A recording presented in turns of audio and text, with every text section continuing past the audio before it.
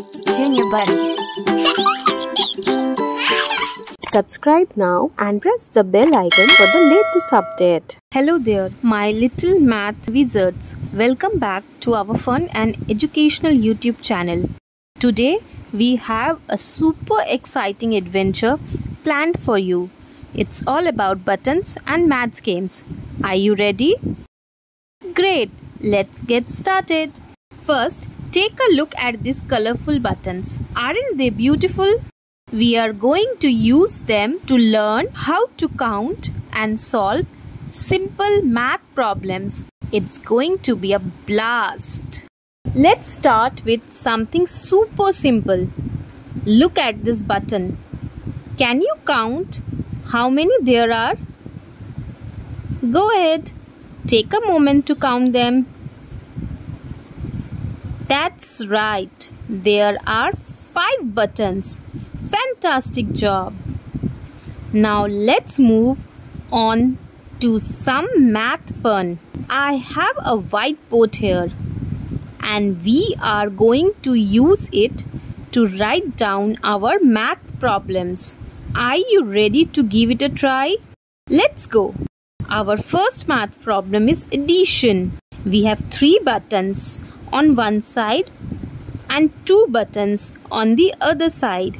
Can you help me solve this? How many buttons do we have in total? That's right. We have 5 buttons in total. You added those numbers like a pro. Now let's try subtraction. We have 7 buttons but we want to take away 3 of them. Can you figure out how many buttons will be left? You got it! We have 4 buttons left. Subtraction is just like magic. Now let's try something a bit trickier. We have 9 buttons and we want to add 4 more. What's the total?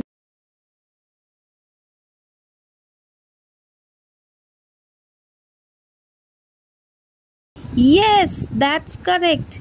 It's 13 buttons. You are really getting the hang of this. Awesome job. My little math explorers, you have done fantastic today. Buttons are a great way to learn math. You can keep practicing with buttons at home and make math fun. Well, that's it for our button math adventure today. I hope you had a blast learning and playing with us. Remember, math is all around us and it can be so much fun. If you like this video, don't forget to share, like and subscribe to our channel.